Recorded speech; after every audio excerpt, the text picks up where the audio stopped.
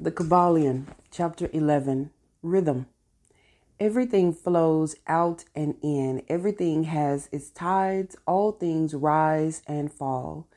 The pendulum swing manifests in everything.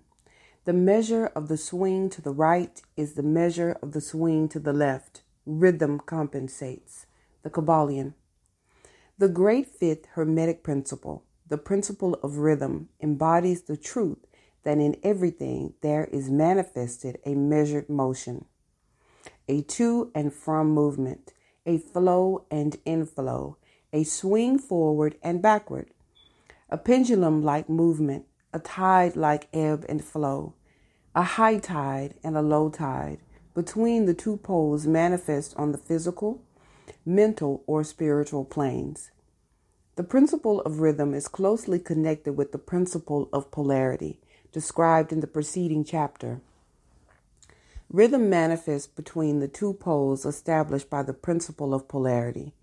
This does not mean, however, that the pendulum of rhythm swings to the extreme poles, for this rarely happens. In fact, it is difficult to establish the extreme polar opposites in the majority of cases, but the swing is ever toward first one pole and then the other. There is always an action and reaction, an advance and a retreat, a rising and a sinking, manifested in all of the airs and phenomena of the universe suns, worlds, men, animals, plants, minerals, forces, energy, mind, and matter. Yes, even spirit. Manifest this principle.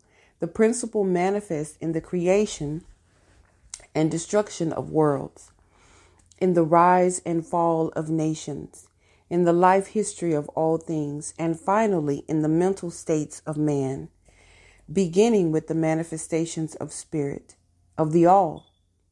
It will be noticed that there is ever the outpouring and the indrawing, the outbreathing and inbreathing of Brahm, as the Brahmins word, as the Brahmins worded.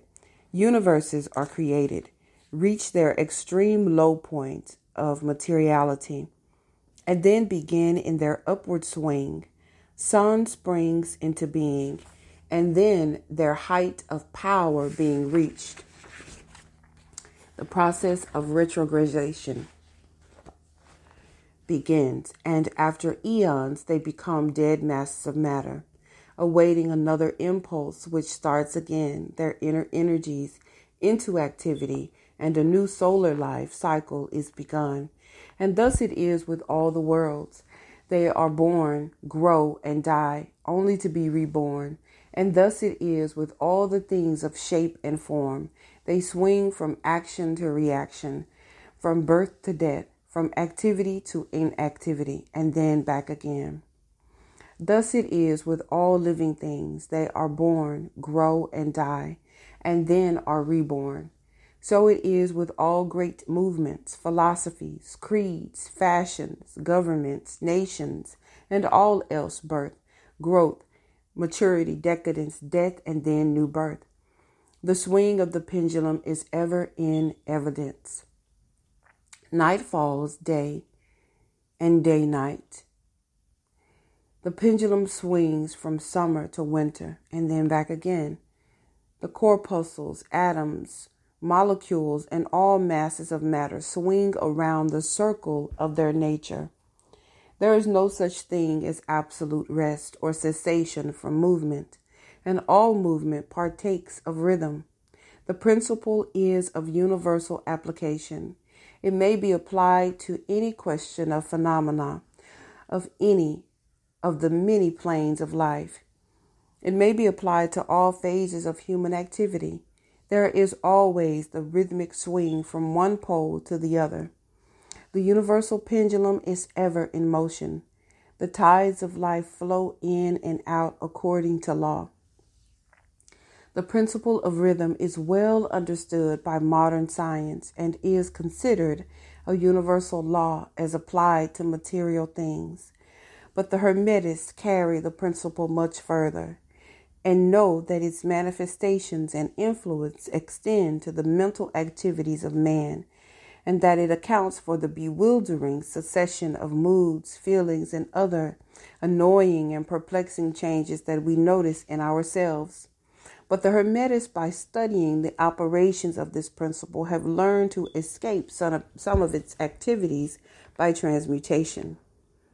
The Hermetic masters long since discovered that while the principle of rhythm was invariable and ever in evidence in mental phenomena, still there were two planes of its manifestation so far as mental phenomena are concerned.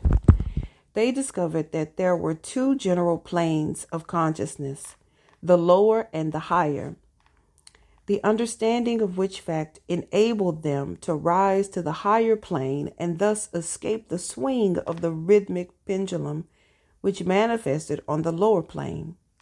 In other words, the swing of the pendulum occurred on the unconscious plane, and the consciousness was not affected. This they call the law of neutralization. Its operations consist in the raising of the ego above the vibrations of unconscious plane of mental activity so that the negative swing of the pendulum is not manifested in consciousness and therefore they are not affected. It is akin to rising above a thing and letting it pass beneath you. The Hermetic master or advanced student polarizes himself at the desired pole, and by a process akin to refusing to participate in the backward swing, or if you prefer, a denial of its influence over him, he stands firm in his polarized position and allows the mental pendulum to swing back along the unconscious plane. All individuals who have attained any degree of self mastery accomplish this more or less unknowingly, and by refusing to allow their moods and negative mental states to affect them, they apply the law of neutralization.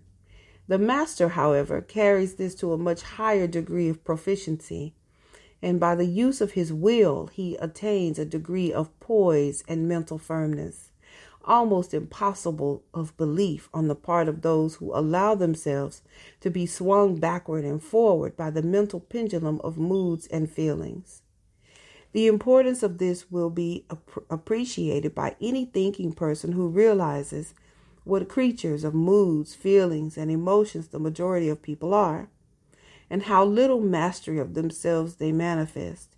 If you will stop and consider a moment, you will realize, realize how much these swings of rhythm have affected you in your life, how a period of enthusiasm has been invariably followed by an opposite feeling and mood of depression. Likewise, your moods and periods of courage have been succeeded by equal moods of fear, and so it has ever been with the majority of persons. Tides of feelings have ever risen and fallen with them, but they have never suspected the cause or reason of the mental phenomena. An understanding of the workings of this principle will give one the key to mastery of these rhythms, of these rhythmic swings of feeling, and will enable him to know himself better and to avoid being carried away by these inflows and outflows. The will is superior to the conscious manifestation of this principle. Although the principle itself can never be destroyed, we may escape its effects but the principle operates nevertheless. The pendulum ever swings, although we may escape being carried along with it. These are other features of the operation of this principle of rhythm, of which we wish to speak at this point.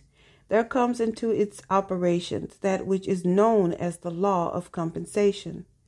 One of the definitions or meanings of the word compensate is to counterbalance, which is the sense in which the Hermetists use the term. It is this law of compensation to which the Kybalion refers when it says, the measure of the swing to the right is the measure of the swing to the left. Rhythm compensates. The law of compensation is that the swing in one direction determines the swing in the opposite direction or to the opposite pole. The one balances or counterbalances the other. On the physical plane, we see many examples of this law. The pendulum of the clock swings a certain distance to the right and then an equal distance to the left.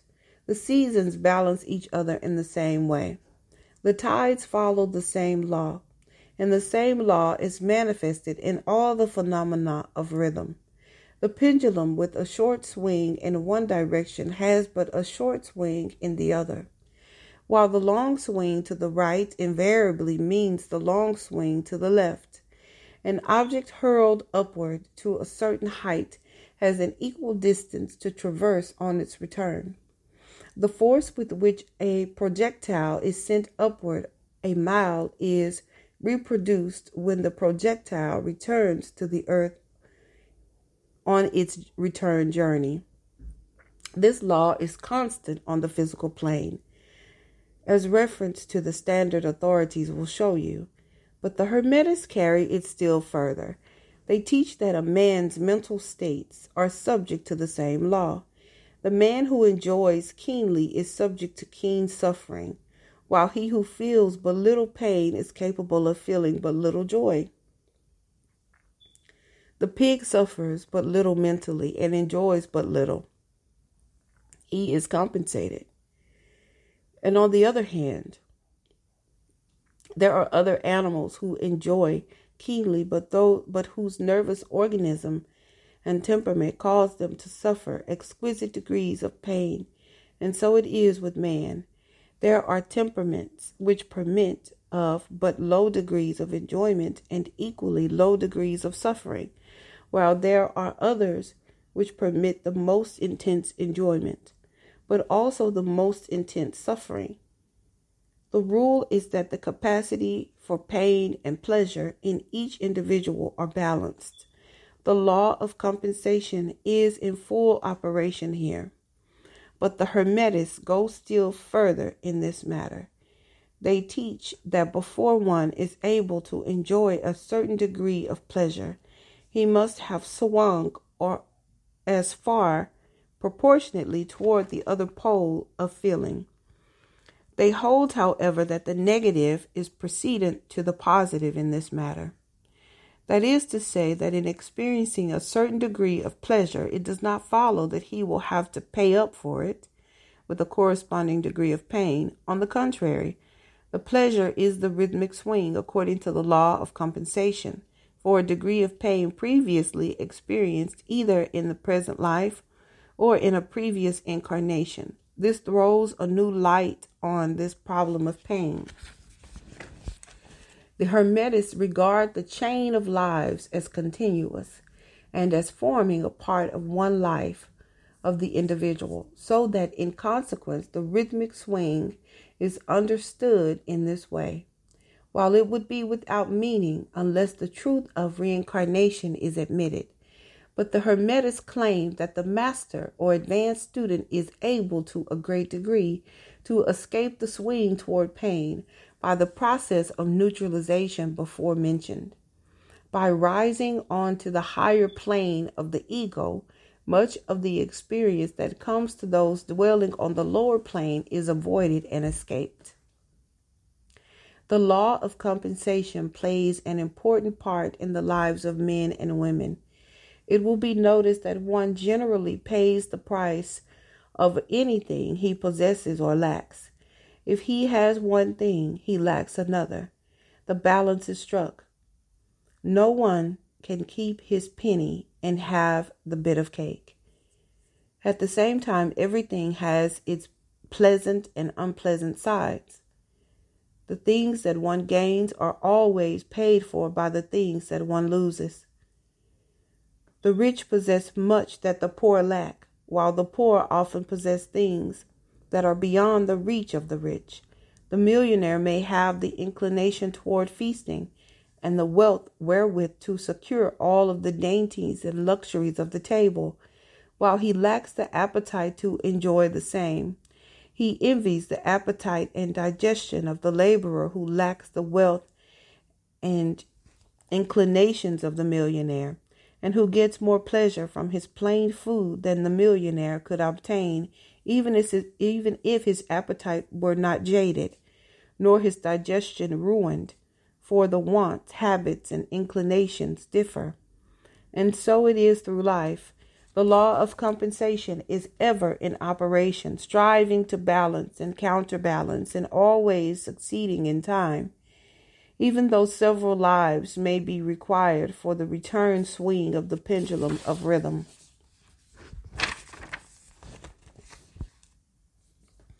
Every cause has its effect. Every effect has its cause. Everything happens according to law. Chance is but a name for law, not recognized. There are many planes of causation, but nothing escapes the law. The Kybalion. Chapter 12 Causation. The great sixth Hermetic principle the principle of cause and effect, embodies the truth that law pervades the universe, that nothing happens by chance, that chance is merely a term indicating cause existing but not recognized or perceived, that phenomena is continuous without break or exception. The principle of cause and effect underlies all scientific thought, ancient and modern, and was enunciated by the Hermetic teachings in the earliest days.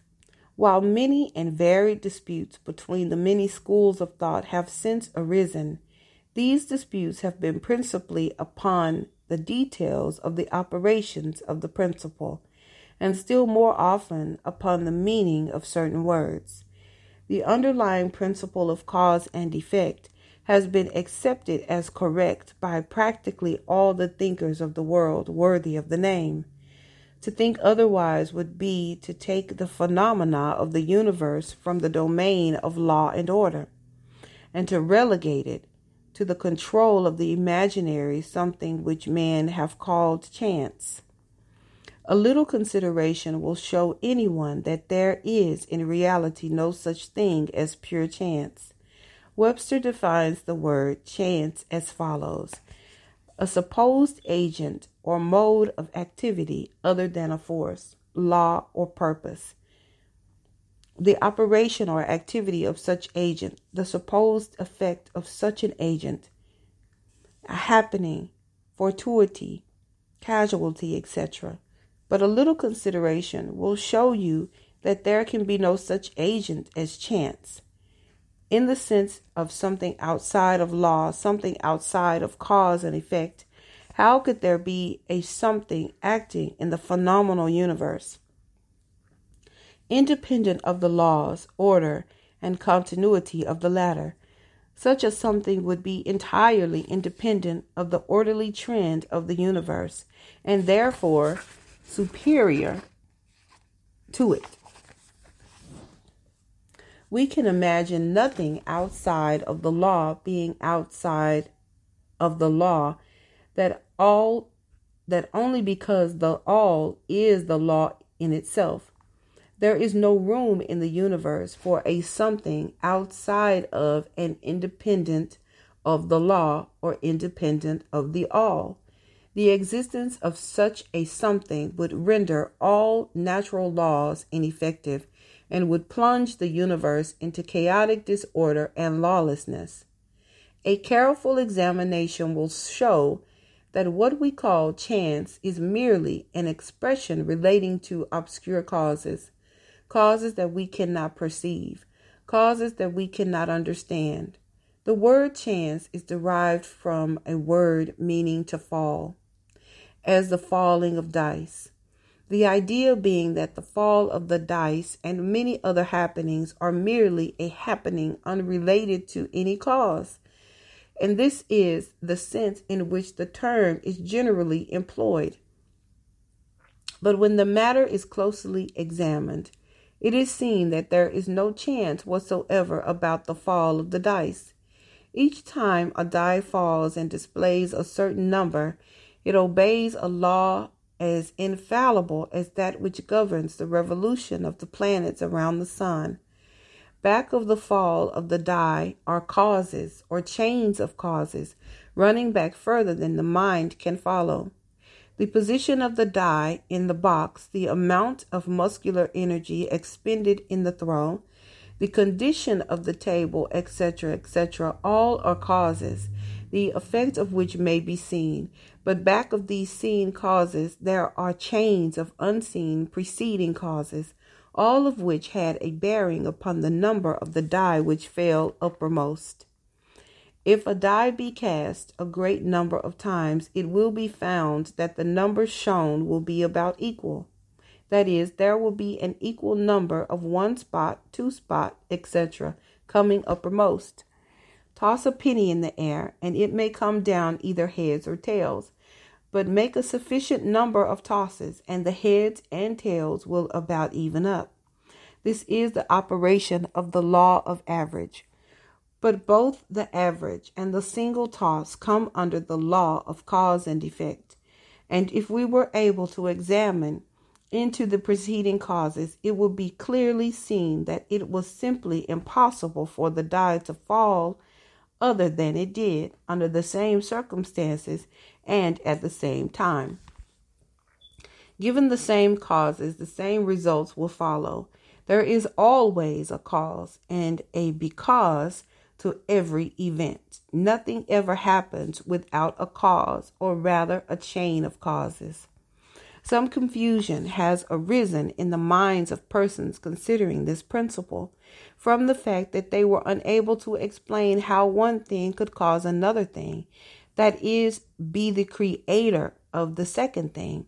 As a matter of fact, no thing ever causes or creates another thing. Cause and effect deals merely with events.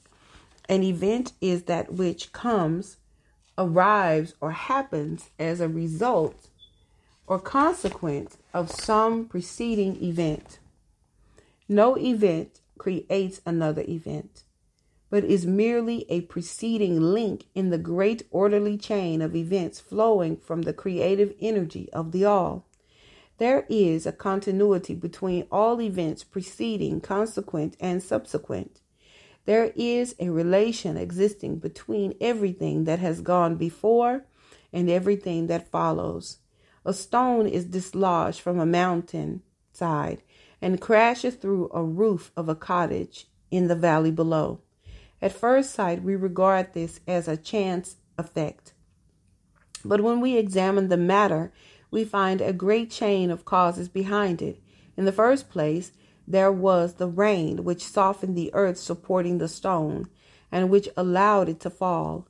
Then, back of that was the influence of the sun, other rains, etc., which gradually disintegrated the piece of rock from a larger piece. Then there were the causes which led to the formation of the mountain and its upheaval by convulsions of nature, and so on ad infinitum. Then we might follow up the causes behind the rain, etc. Then we might consider the existence of the roof, in short. We would soon find ourselves involved in a mesh of cause and effect from which we would soon strive to extricate ourselves. Just as a man has two parents and four grandparents and eight grand great grandparents and 16 great great grandparents and so on until we say 40 generations are calculated the numbers of ancestors run into many millions. So it is with the number of causes behind even the most trifling event or phenomena, such as the passage of a tiny speck of soot before your eye. It is not an easy matter to trace the bit of soot hack to the early period of the world's history when it formed a part of a massive tree trunk, which was afterward converted into coal, and so on until, as a speck of soot, it now passes before your vision on its way to other adventures. And a mighty chain of events, causes, and effects brought it to its present condition and the later is but one of the chain of events which will go to produce other events hundreds of years from now. One of the series of events arising from the tiny bit of soot was the writing of these lines, which caused the typesetter to perform certain work, the proofreader to do likewise, and which will arouse certain thoughts in your mind and that of others, which in turn will affect others, and so on and so on and on, beyond the ability of man to think further, and all from the passage of a tiny bit of soot all of which shows the relativity and association of things, and the further fact that there is no great, there is no small in the mind that causeth all. Stop to think a moment. If a certain man had not met a certain maid away back in the dim period of the Stone Age, you who are now reading these lines would not now be here. And if perhaps the same couple had failed to meet, we who now write these lines would not now be here. And the very act of writing on our part and the act of reading on yours will affect not only the respective lives of yourselves and ourselves, but will also have a direct or indirect effect upon many other people now living and who will live in the ages to come. Every thought we think, every act we perform has its direct and indirect results, which fit into the great chain of cause and effect. We do not wish to enter into a consideration of free will or determination in this work for various reasons. Among the many reasons is the principal one that neither side of the controversy is entirely right, in fact. Both sides are partially right according to the Hermetic teachings. The principle of polarity shows that both are but half truths, the opposing poles of truth. The teachings are that a man may be both free and yet bound by necessity, depending upon the meaning of the terms and the height of truth from which the matter is examined. The ancient writers express the matter thus the further the creation is from the center, the more it is bound. The nearer the center it reaches, the nearer free is it. The majority of people are more or less the slaves of heredity, environment, etc., and manifest very little freedom. They are swayed by the opinions, customs, and thoughts of the outside world, and also by their emotions, feelings, moods, etc. They manifest no mastery worthy, worthy of the name. They indignantly repudiate the, this assertion, saying, Why, I certainly am free to act and do as I please. I do just what I want to do. But they fail to explain whence arise the want to and as I please, what makes them want to do one thing in preference to another? What makes them pleased to do this and not do that? Is there no because to their pleasing and wanting? The master can change these pleases and wants into others at the opposite end of the mental pole. He is able to will to will instead of to will because some feeling, mood, emotion, or environmental suggestion arouses a tendency or desire within him.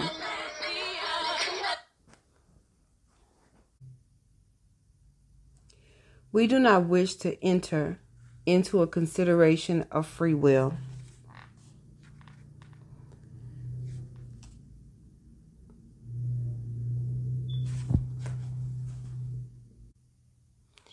The majority of people are carried along like the falling stone, obedient to environment, outside influences, and internal moods, desires, etc., not to speak of the desires and wills of others stronger than themselves, heredity, environment, and suggestion carrying them along without resistance on their part, or the exercise of the will. Moved like the pawns on the checkerboard of life, they play their part and are laid aside after the game is over. But the masters, knowing the rules of the game, arise above the plane of material life and placing themselves in touch with the higher powers of their nature, dominate their own moods, characters, qualities, and polarity, as well as the environment surrounding them, and thus become movers in the game instead of pawns, causes instead of effects. The masters do not escape the causation of the higher planes, but fall in with the higher laws and thus master circumstances on the lower plane. They thus form a conscious part of the law instead of being mere blind instruments. While they serve on the higher planes, they rule on the material plane. But on higher and on lower, the law is always in operation. There is no such thing as chance. The blind goddess has been abolished by reason. We are able to see now, with eyes made clear by knowledge, that everything is governed by universal law, that the infinite number of laws are but manifestations of the one great law, the law which is the all. It is true indeed that not a sparrow drops unnoticed by the mind of the all, that even the hairs on our head are numbered, as the scriptures have said. There is nothing outside of law, nothing that happens contrary to it. And yet, do not make the mistake of supposing that man is but a blind automation. Far from that. The Hermetic teachings are that man may use law to overcome laws, and that the higher will always prevail against the lower, until at last he has reached the stage in which he seeks refuge in the law itself and laughs the phenomenal laws to scorn. Are you able to grasp the inner meaning of this? Chapter 13 Gender. Gender is in everything. Everything has its masculine and feminine principles. Gender manifests on all planes, the Kybalion. The great seventh Hermetic principle, the principle of gender, embodies the truth that there is gender manifested in everything, that the masculine and feminine principles are ever present and active in all phases of phenomena on each and every plane of life. At this point, we think it well to call your attention to the fact that gender,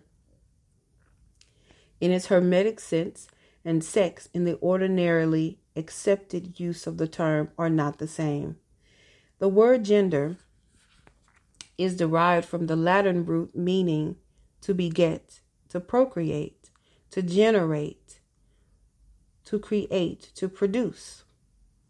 A moment's consideration will show you that the word has a much broader and more general meaning than the term sex. The latter referring to the physical distinctions between male and female living things. Sex is merely a manifestation of gender on a certain plane of the great physical plane, the plane of organic life. We wish to impress this distinction upon your minds for the reason that certain writers who have acquired a smattering of Hermetic philosophy have sought to identify this seventh Hermetic principle with wild and fanciful and often reprehensible theories and teachings regarding sex. The office of gender is solely that of creating, producing, generating, etc., and its manifestations are visible on every plane of phenomena.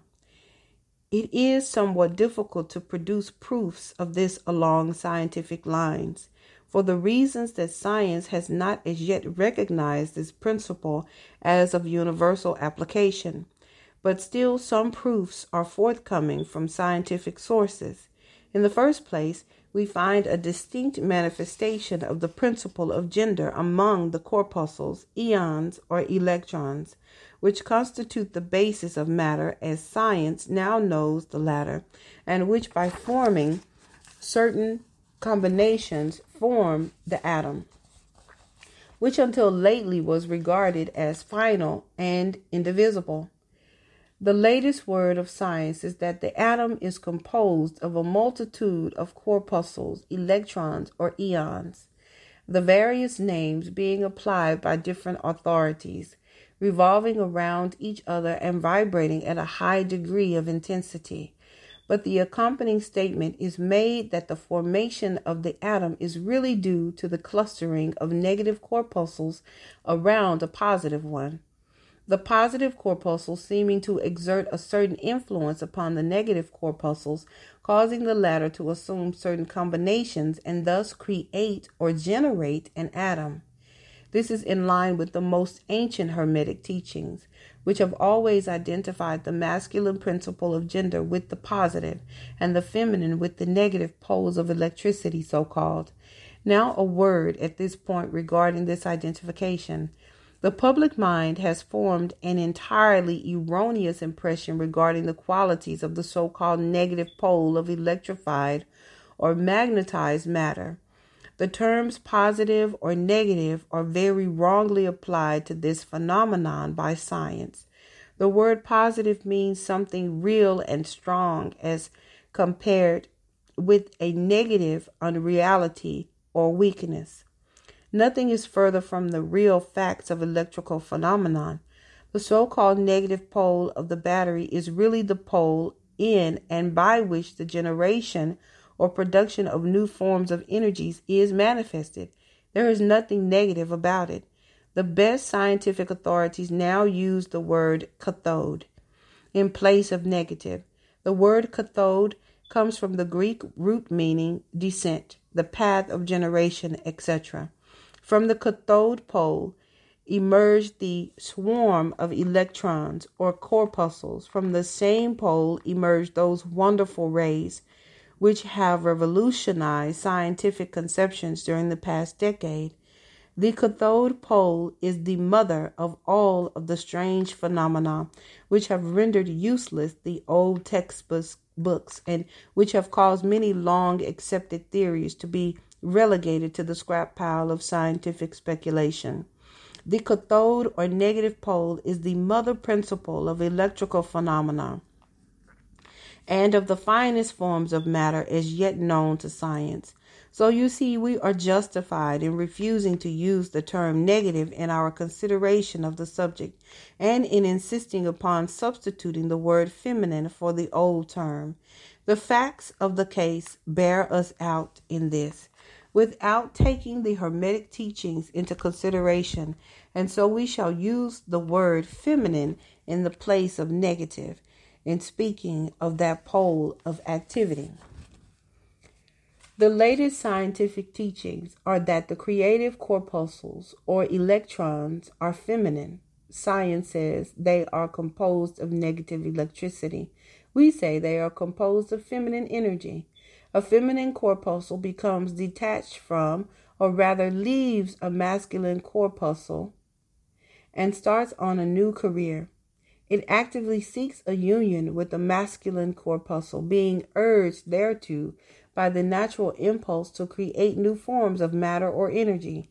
One writer goes so far as to use the term it at once seeks of its own volition a union etc. This detachment of uniting form the basis of the greater part of the activities of the chemical world. When the feminine corpuscle unites with a masculine corpuscle, a certain process is begun. The feminine particles vibrate rapidly under the influence of the masculine energy and circle rapidly around the latter. The result is the birth of a new atom. This new atom is really composed of the union of the masculine and feminine electrons or corpuscles. But when the union is formed, the atom is a separate thing, having certain properties, but no longer manifesting the property of free electricity. The process of detachment or separation of the feminine electrons is called ionization. These electrons or corpuscles are the most active workers in nature's field, arising from their unions or combinations manifest the varied phenomena of light, heat, electricity, magnetism, attraction, repulsion, chemical affinity, and the reverse, and similar phenomena. And all this arises from the operation of the principle of gender on the plane of energy. The part of the masculine principle seems to be that of directing a certain inherent energy toward the feminine principle, and thus starting into activity the creative processes. But the feminine principle is the one always doing the active, creative work, and this is so on all planes, and yet each principle is incapable of oper- operative energy without the assistance of the other. In some of the forms of life, the two principles are combined in one organism. For that matter, everything in the organic world manifests both genders. There is always the masculine present in the feminine form, and the feminine form. The Hermetic teachings include much regarding the operations of the two principles of gender and the production of the manifestation of various forms of energy, etc. But we do not deem it expedient to go into detail regarding the same at this point because we are unable to back up the same scientific the, the same with scientific proof for the reason that science has not yet progressed thus far. But the example we have given you of the phenomena of the electrons or corpuscles will show you that science is on the right path and will also give you a general idea of the underlying principles. Some leading scientific investigators have announced their belief that in the formation of crystals, there was to be found something that corresponds to sex activity, which is another straw showing the direction the scientific winds are blowing, and each year will bring other facts to corroborate the correctness of the Hermetic principle of gender. It will be found that gender is in constant operation and manifestation in the field of inorganic matter and in the field of energy or force. Electricity is now generally regarded as the something into which all other forms of energy seem to melt or dissolve. The electrical theory of the universe is the latest scientific doctrine and is growing rapidly in popularity and general acceptance. And it thus follows that if we are able to discover the phenomena of electricity, even at the very root and source of its manifestations, a clear and unmistakable evidence of the presence of gender and its activities, we are justified in asking you to believe that science at last has offered proofs of the existence in all universal phenomena of that great Hermetic principle, the principle of gender. It is not necessary to take up your time with the well known phenomena of the attraction and repulsion of the atoms, chemical affinity, the loves and hates of the atomic particle, the attraction or cohesion between the molecules of matter. These facts are too well known to need extended comment from us. But have you ever considered that all of the of these things are manifestations of the gender principle?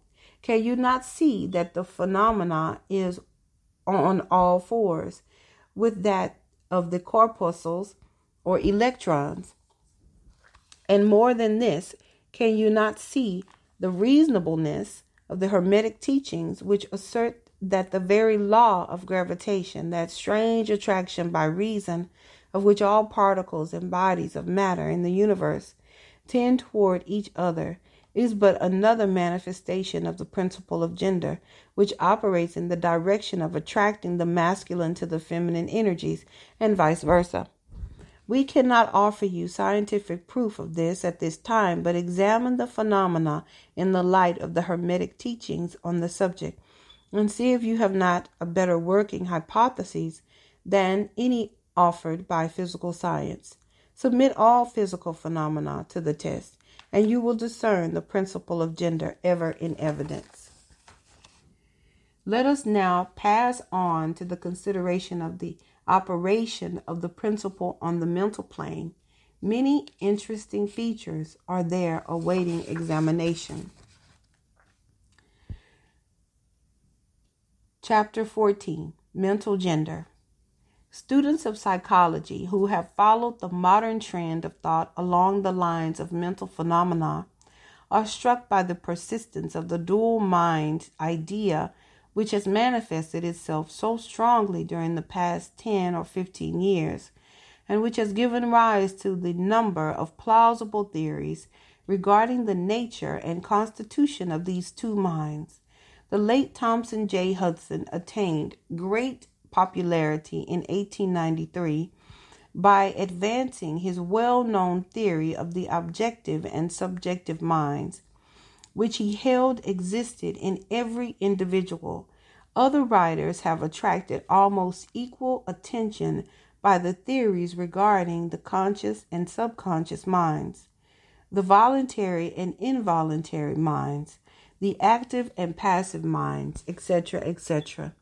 The theories of the various writers differ from each other, but there remains the underlying principle of the duality of mind.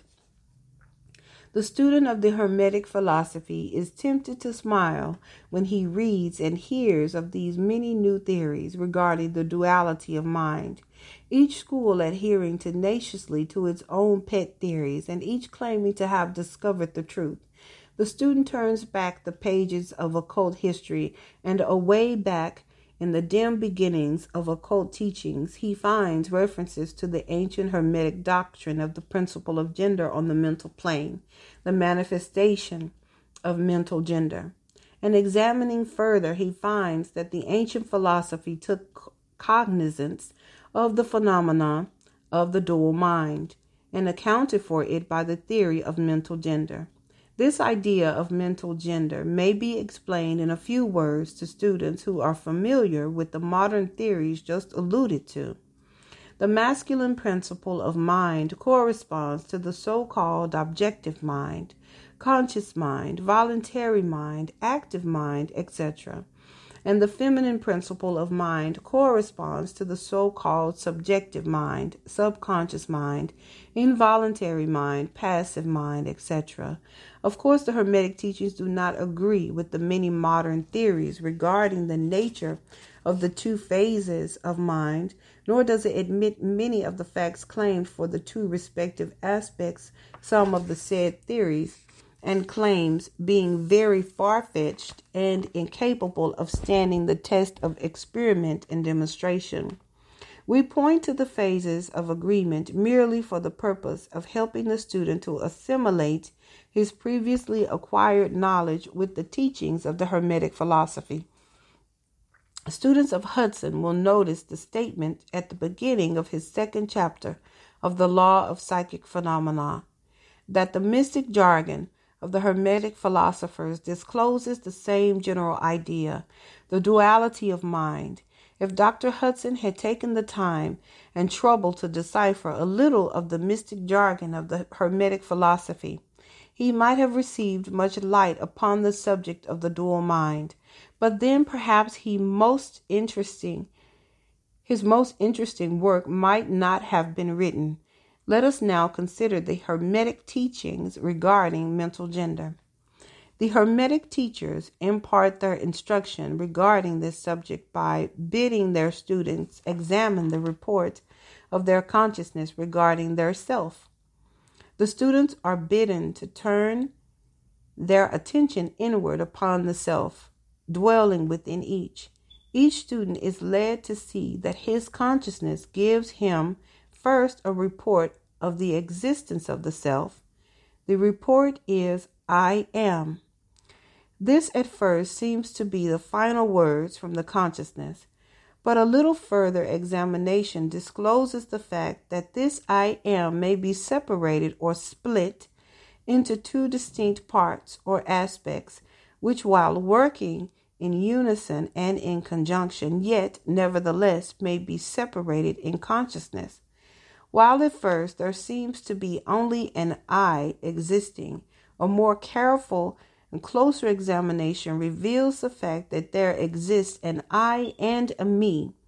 These mental twins differ in their characteristics and nature, and an examination of their nature and the phenomena arising from the same will throw much light upon many of the problems of mental influence. Let us begin with the consideration of the me which is usually mistaken for the I by the student until he presses the inquiry a little further back into the recesses of consciousness. A man thinks of himself in its aspect of me as being composed of certain feelings, tastes, likes, dislikes, habits, peculiar ties, characteristics, etc., all of which go to make up his personality or the self known to himself and others. He knows that these emotions and feelings change are born and die away, are subject to the principle of rhythm and the principle of polarity, which take him from one extreme of feeling to another. He also thinks of the me as being certain knowledge gathered together in his mind and thus forming a part of himself. This is the me of a man. But we have proceeded too hastily. The me of many men may be said to consist largely of their consciousness of the body and their physical appetite, etc., their consciousness being largely bound up with their bodily nature. They practically live there. Some men even go so far as to regard their personal apparel as a part of their me, and actually seem to consider it a part of themselves. A writer has humorously said that men consist of three parts soul, body, and clothes. These clothes conscious people would lose their personality if divested of their clothing by savages upon the occasion of a shipwreck. But even many who are not so closely bound up with the idea of personal raiment stick closely to the consciousness of their bodies being their me. They cannot conceive of a self independent of the body. Their mind seems to them to be practically a something belonging to their body, which in many cases it is indeed. But as man rises in the scale of consciousness, he is able to disentangle his me from his idea of body and is able to think of his body as belonging to the mental part of him. But even then, he is very apt to identify the me entirely with the mental states, feelings, etc., which he feels to exist within him. He is very apt to consider these internal states as identical with himself, instead of their being simply things produced by some part of his mentality and existing within him, of him, and in him, but still not himself. He sees that he may change these internal states of feelings by all effort of will, and that he may produce a feeling or state of an exactly opposite nature in the same way, and yet the same me exists. And so, after a while, he is able to set aside these various mental states, emotions, feelings, habits, qualities, characteristics, and other personal mental belongings. He is able to set them aside in the Not Me collection of curiosities and encumbrances, as well as valuable possessions. This requires much mental concentration and power of mental analysis on the part of the student. But still, the task is possible for the advanced student, and even those not so far advanced are able to see in the imagination how the process may be performed. After this laying aside process has been performed, the student will find himself in conscious possession of a self, which may be considered in its I and me dual aspects. The me will be felt to be a something mental in which thoughts, ideas, emotions, feelings, and other mental states may be produced. It may be considered as the mental womb, as the ancient style did, capable of generating mental offspring. It reports to the consciousness as a me, with latent powers of creation and generation, of mental progeny of all sorts and kinds. Its powers of creative energy are felt to be enormous. But still, it seems to be conscious that it must receive some form of energy from either its I companion or else from some other I, or er, it is able to bring into being its mental creations. This consciousness brings with it a realization of an enormous capacity for mental work and creative ability. But the student soon finds that this is not all that he finds within his inner consciousness. He finds that there exists a mental something which is able to will that the me act along certain creative lines and which is also able to stand aside and witness the mental creation. This part of himself is taught to call his I. He is able to rest in its consciousness at will. He finds there not a consciousness of an ability to generate and actively create in the sense of the gradual process attendant upon mental operations, but rather a sense and consciousness of an ability to project an energy from the I to the me, a process of willing, that the mental creation begin and proceed. He also finds that the I is able to stand aside and witness the operations of the me's mental creation and generation. There is this dual aspect in the mind of every person. The I represents the masculine principle of mental gender. The me represents the female principle. The I represents the aspect of being. The me, the aspect of becoming. You will notice that the principle of correspondence operates on this plane just as it does upon the great plane upon which the creation of universes is performed. The two are similar in kind, although vastly different in degree. As above, so below. As below, so above. These aspects of mind, the masculine and feminine principles, the I and the me, considered in connection with the well known mental and psychic phenomena, give the master key to these dimly known regions of mental operation and manifestation. The principle of mental gender gives the truth underlying the whole field of the phenomena of mental influence, etc. The tendency of the feminine principle is always in the direction of receiving expressions, while the tendency of masculine principle is always in the direction of giving out or expressing. The feminine principle has much more varied field of operation than has the masculine principle. The feminine principle conducts the work of generating new thoughts, concepts, ideas, including the work of the imagination.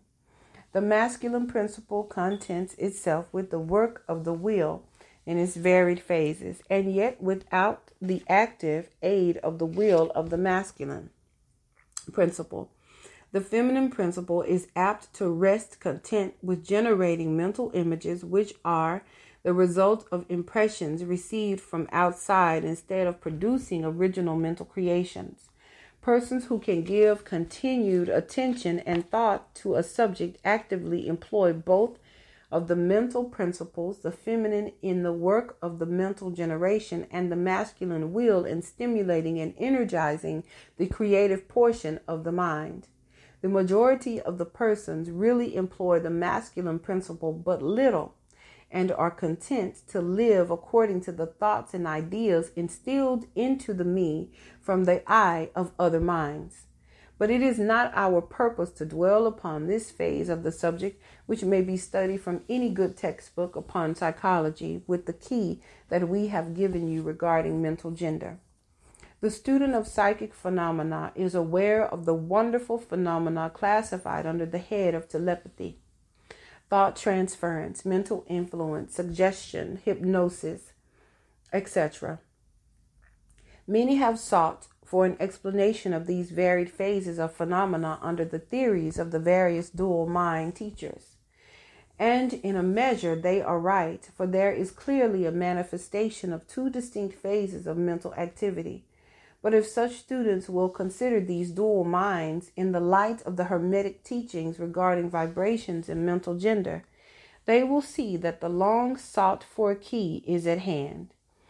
In the phenomena of telepathy, it is seen how the vibratory energy of the masculine principle is projected toward the feminine principle of another person, and the latter takes the seed thought and allows it to develop into maturity. In the same way, suggestion and hypnotism operates. The masculine principle of the person giving the suggestion directs a stream of vibratory energy or willpower toward the feminine principle of the other person, and the latter, accepting it, makes it its own and acts and thinks accordingly. An idea thus lodged in the mind of another person grows and develops and in time is regarded as the rightful mental offspring of the individual, whereas it is in reality like a cuckoo egg placed in a sparrow's nest where it destroys the rightful offspring and makes itself a home. The normal method is for the masculine and feminine principles in a person's mind to coordinate and act harmoniously in conjunction with each other. But unfortunately, the masculine principle in the average person is too lazy to act. The display of willpower is too slight, and the consequence is that such persons are ruled almost entirely by the minds and wills of other persons whom they allow to do their thinking and willing for them. How few original thoughts or original actions are performed by the average person. Are not the majority of persons mere shadows and echoes of others having stronger wills or minds than themselves? The trouble is that the average person dwells almost altogether in his me conscious and does not realize that he has such a thing as an I. He is polarized in his feminine principle of mind, and the masculine principle in which is lodged the will is allowed to remain inactive and not employed. The strong men and women of the world invariably manifest the masculine principle of will, and their strength depends materially upon this fact. Instead of living upon the impressions made upon their minds by others, they dominate their own minds by their will, obtaining the kind of mental images desired, and moreover dominate the minds of others likewise in the same manner. Look at the strong people, how they manage to implant their seed thoughts in the minds of the masses of the people, thus causing the latter to think thoughts in accordance with the desires and wills of the strong individuals. This is why the masses of people are such sheep like creatures, never originating an idea of their own, nor using their own powers of mental activity. The manifestation of mental gender may not may be noticed all around us in everyday life. The magnetic persons are those who are able to use the masculine principle in the way of impressing their ideas upon others. The actor who makes people weep or cry as he wills is employing this principle, and so is the successful orator, statesman, preacher, writer, or other people who are before the public attention. The peculiar influence exerted by some people over others is due to the manifestation of mental gender along the vibrational lines above indicated. In this principle lies the secret of personal magnetism, personal influence, fascination, etc., as well as the phenomena generally grouped under the name of hypnotism. The student who has familiarized himself with the phenomena generally spoken of as psychic will have discovered the important part played in the said phenomena by that force which science has styled suggestion by which term is meant the process or method whereby an idea is transferred to or impressed upon the mind of another, causing the second mind to act in accordance therewith. A correct understanding of suggestion is necessary in order to intelligently comprehend the varied psychical phenomena which suggestion underlies. But still more is a knowledge of vibration and mental gender necessary for the student of suggestion. For the whole principle of suggestion depends upon the principle of mental gender and vibration. It is customary for the writers and teachers of suggestion to explain that it is the objective or voluntary mind which make the mental impression or suggestion upon the subjective or involuntary mind but they do not describe the process or give us any analogy in nature whereby we may more readily comprehend the idea. But if you will think of the matter in the light of the Hermetic teachings, you will be able to see that the energizing of the feminine principle by the vibratory energy of the masculine principle is in accordance to the universal laws of nature, and that the natural world affords countless analogies whereby the principle may be understood.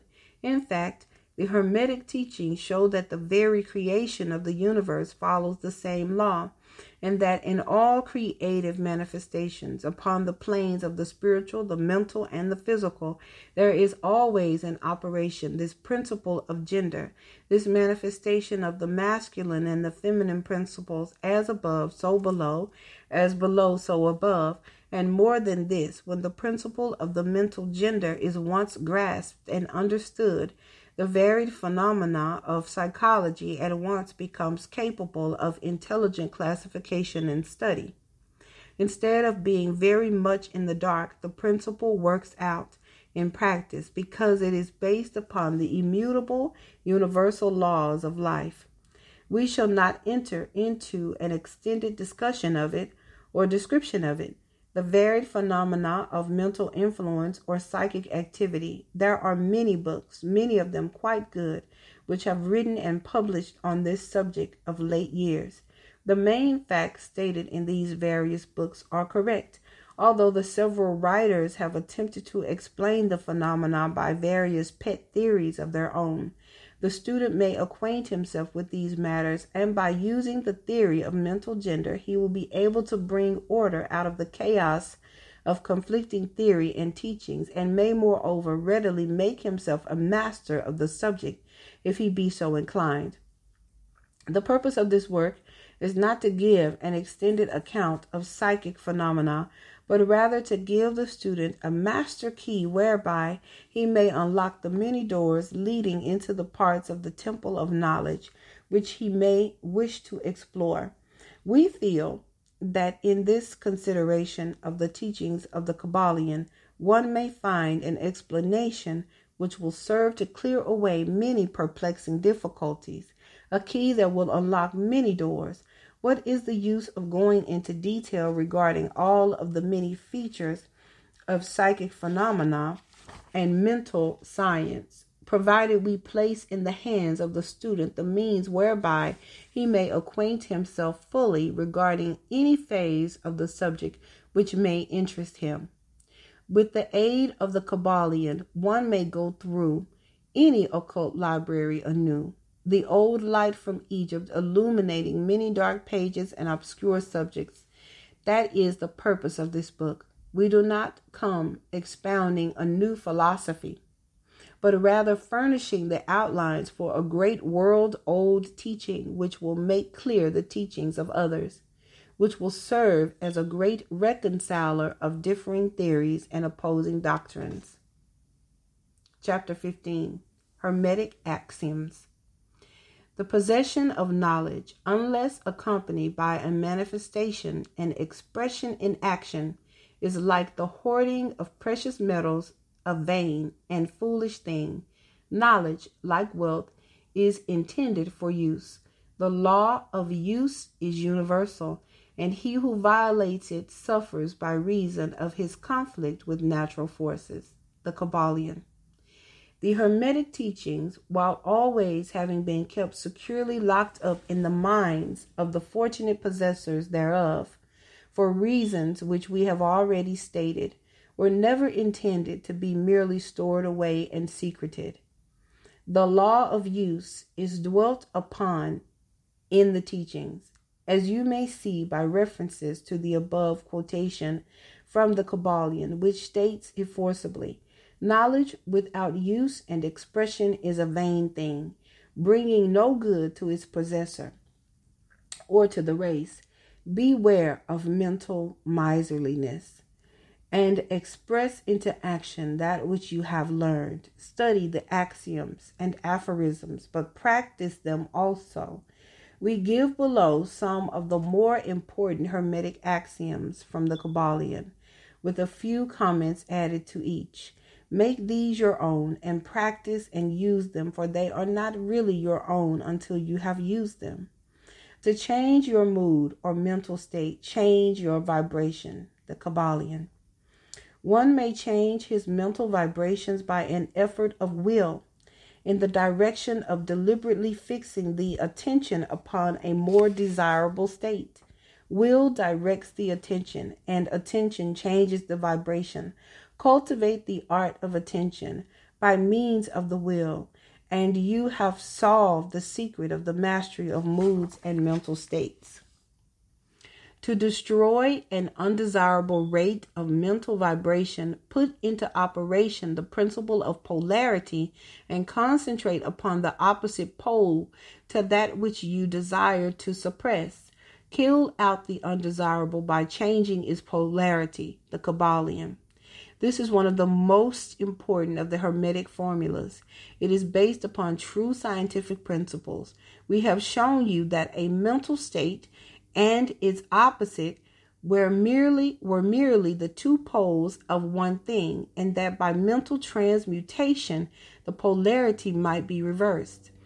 This principle is known to modern psychologists who apply it to the breaking up of undesirable habits by bidding their students concentrate upon the opposite quality.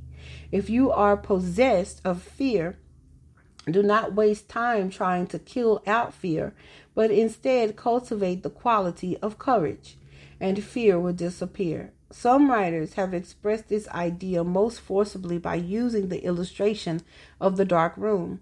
You do not have to shovel out or sweep out the darkness, but by merely opening the shutters and letting in the light, the darkness has disappeared. To kill out the negative quality, concentrate upon the positive pole of that same quality, and the vibrations will gradually change from negative to positive until finally you will become polarized on the positive pole instead of the negative. The reverse is also true, as many have found out to their sorrow. When they have allowed themselves to vibrate too constantly on the negative pole of things, by changing their polarity, you may master your moods, change your mental states, remake your disposition, and build up character. Much of the mental mastery of the advanced Hermetics is due to this application of polarity, which is one of the important aspects of mental transmutation. Remember the Hermetic axiom quoted previously, which says, Mind as well as metals and elements may be transmuted from state to state, degree to degree, condition to condition, pole to pole, vibration to vibration. The Kybalion. The mastery of polarization is the mastery of the fundamental principles of mental transmutation or mental alchemy. For unless one acquires the art of changing his own polarity, he will be unable to affect his environment. An understanding of this principle will enable one to change his own polarity as well as that of others. If he will but devote the time, care, study, and practice necessary to master the art, the principle is true, but the result obtained depend upon the persistent patience and practice of the student. Rhythm may be neutralized by an application of the art of polarization, the Kybalion. As we have explained in previous chapters, the Hermetics, the Hermetists hold that the principle of rhythm manifests on the mental plane as well as on the physical plane, and that the bewildering succession of moods, feelings, emotions, and other mental states are due to the backward and forward swing of the mental pendulum, which carries us from one extreme of feeling to the other. The Hermetists also teach that the law of neutralization enables one to a great extent to overcome the operation of rhythm in consciousness. As we have explained, there is a higher plane of consciousness, as well as the ordinary lower plane, and the master, by rising mentally to the higher plane, causes the swing of the mental pendulum to manifest on the lower plane, and he, dwelling on his higher plane, escapes the consciousness of the swing backward. This is effected by polarizing on the higher self and thus raising the mental vibrations of the ego above those of the ordinary plane or consciousness. It is akin to rising above a thing and allowing it to pass beneath you. The advanced Hermetist polarizes himself in the positive pole of his being, the I am pole, rather than the pole of personality, and by refusing and denying the operation of rhythm, raises himself above its plane of consciousness, and standing firm in his statement of being, he allows the pendulum to swing back on the lower plane without changing his polarity. This is accomplished by all individuals who have attained any degree of self mastery, whether they understand the law or not. Such persons simply refuse to allow themselves to be swung back by the pendulum of mood and emotion, and by steadfastly affirming the superiority, they remain polarized on the positive pole. The master, of course, attains a far greater degree of proficiency because he understands the law which he is overcoming by a higher law.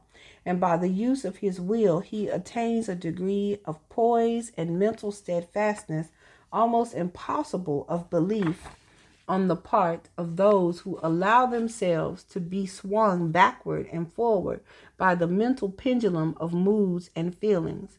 Remember always, however, that you do not really destroy the principle of rhythm for that is indestructible. You simply overcome one law by counterbalancing it with another and thus maintain an equilibrium. The laws of balance and counterbalance are in operation on the mental as well as on the physical planes.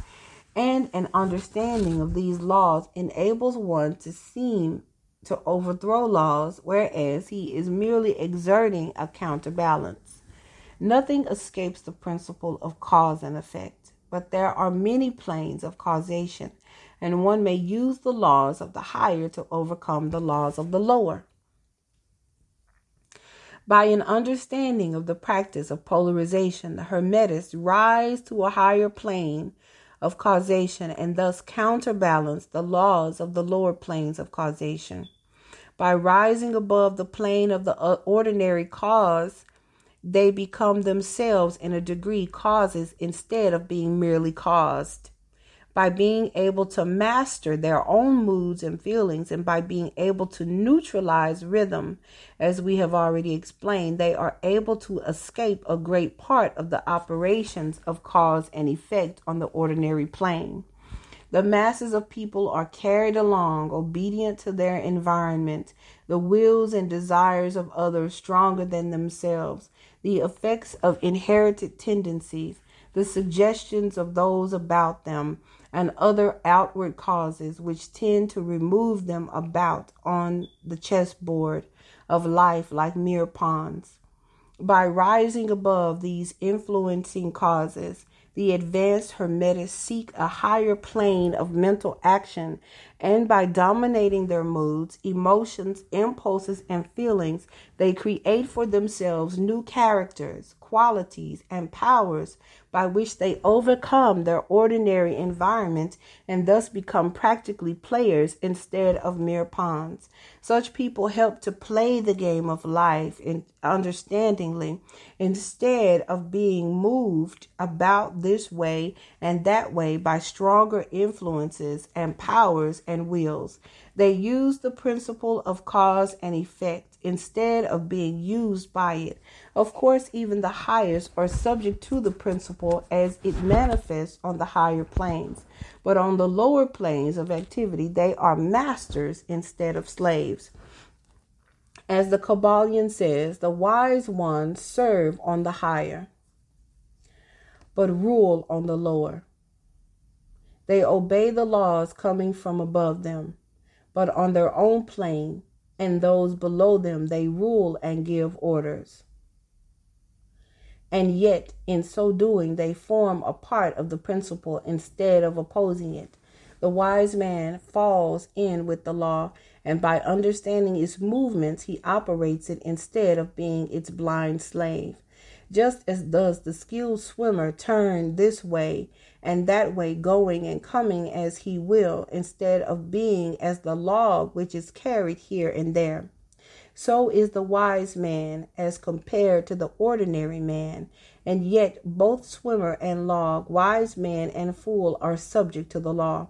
He who understands this is well on the road to mastery, the Kybalion.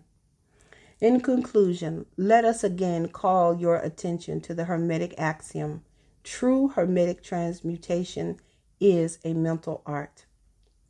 The Kybalion. In the above axiom, the Hermetists teach that the great work of the influencing one's environment is accomplished by mental power the universe being wholly mental, it follows that it may be ruled only by mentality. And in the truth is to be found an explanation of all the phenomena and manifestations of the various mental powers which are attracting so much attention and study in these earlier years of the 20th century back of and under the teachings of the various cults and schools remains ever constant the principle of the mental substance of the universe. If the universe be mental in its substantial nature, then it follows that mental transmutation must change the conditions and phenomena of the universe. If the universe is mental, then mind must be the highest power affecting its phenomena. If this be understood, then all the so called miracles and wonder workings are seen plainly for what they are.